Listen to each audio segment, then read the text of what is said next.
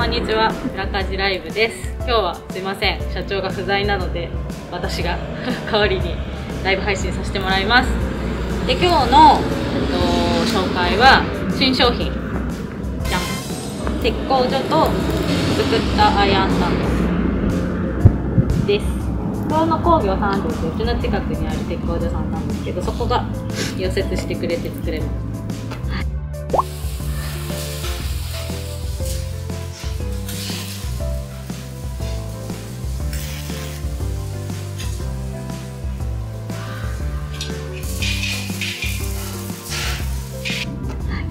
で、まあ、この組み立て鉄のこれですね。これが2本あるだけなんですけどそこにうちのブランキングこれよく見るとペグの形してるんですけどそれがあのお店で限定で買えるんですけどそれ組み合わせて、まあ、焚き火台の上に設置するという商品となってます。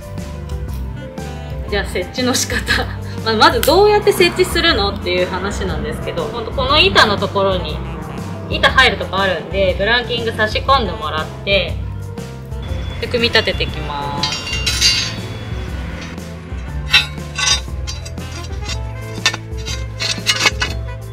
組み立てるとこんな感じです。はい。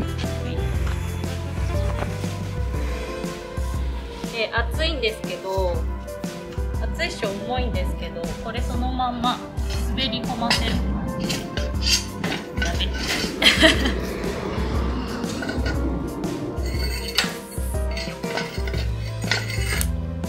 こんな感じで設置します。もともと焚き火台のところに設置してもらって、まあ、焚き火のこう追加してもらったり熱っ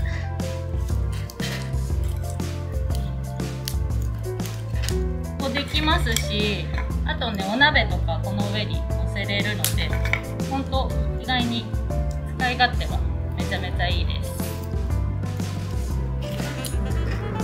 こんな感じでこんな使うんですけどちょっとうちのユーザーさんがこの間 Twitter でご紹介いただいてたすごくあ素敵と思った商品があったあの使い方があったのでそれご紹介させてもらうんですけどこれうち実はこのペグ48センチ。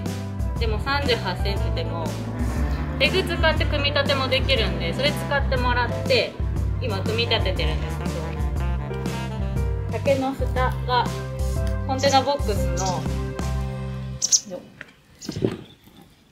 うちコンテナボックス売っててでその上にこの竹テーブル蓋ができるようになってるんです。このね板がなんとテーブルになっちゃう。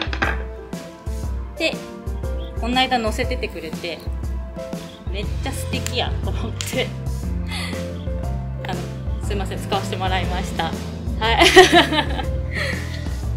これちょっとお店限定のアイアンスタンドお店限定の商品になっちゃうんでちょっと欲しい方頑張ってお店に来てもらわなきゃいけないんですけどあのまだ在庫は若干数残ってますんでぜひあの気になる方はご来店をお待ちしております。